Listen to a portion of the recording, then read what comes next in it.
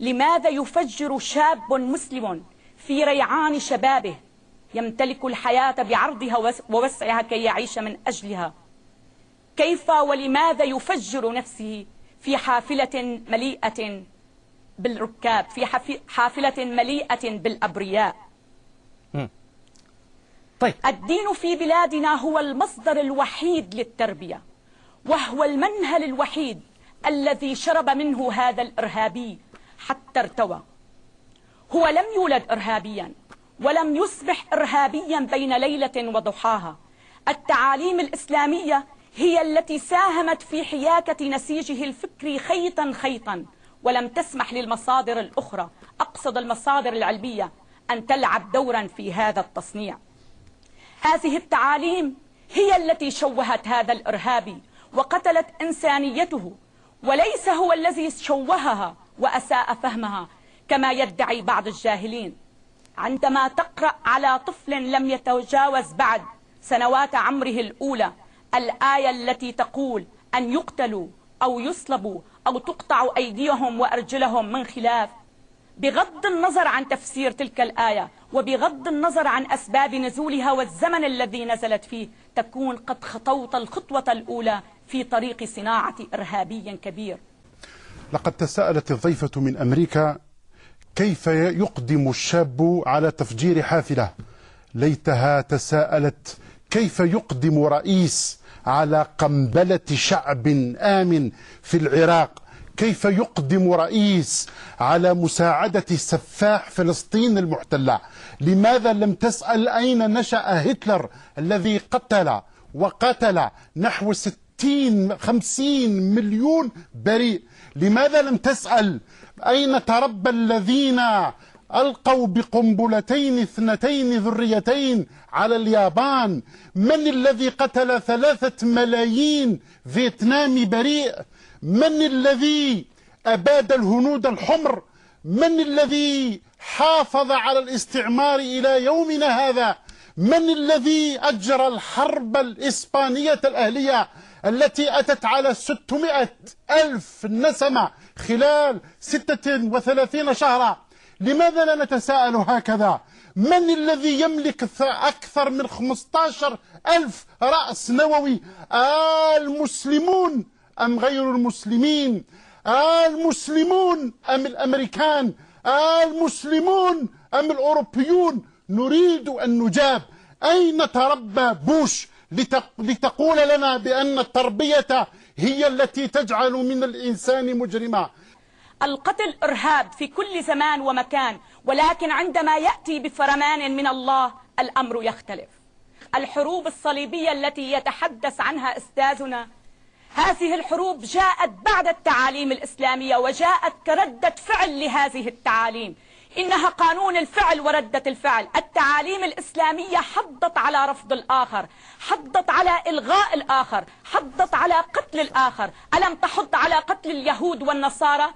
إذا سمعنا أن قبيلة في أقصى أقاصي الصين لديها كتاب مقدس وليها تعاليم تصر على قتل المسلمين. هل سيقف المسلمين مكتوفي الأيدي حيال هذه التعاليم؟ الحروب الصليبية جاءت بعد التعاليم الإسلامية وعندما كانت التع... وعندما نزلت هذه التعاليم الإسلامية لم تكن أمريكا على سطح الأرض ولم تكن إسرائيل في فلسطين. لماذا لم يتكلم عن الفتوحات الصليبية عن الفتوحات الإسلامية؟ التي تمت قبل كل هذه الحروب الذي يتكلم عنها. لماذا لم يتكلم عندما اقتمح مطارق بن زياد بجيوشه الأندلس وقال لهم البحر من أمامكم والعدو من ورائكم كيف تقتحم بلدا آمنا وتعتبر جميع سكانه؟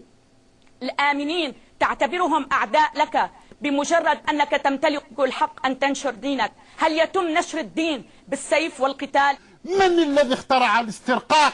في القرون المتأخرة من الذي استعمر الآخر؟ أنحن؟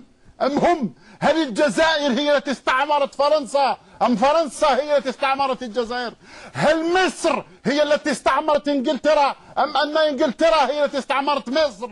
نحن الضحية. أنا لا أقول بأن ضرب الأبرياء شيء جميل. أقول بأن الأبرياء ينبغي أن نحميهم جميعا. ولكن في نفس الوقت علينا أن نبدأ بأبرياء المسلمين. أبرياؤنا بالملايين وأبرياؤكم وهم أبرياء بالعشرات أو بالمئات وفي أقصى الحالات بالآلاف. هل تستطيع أن تفسر لي قتل مائة ألف طفل وامرأة ورجل في الجزائر بأبشع أساليب القتل؟ هل تستطيع أن تفسر لي قتل 15 ألف مدني في سوريا؟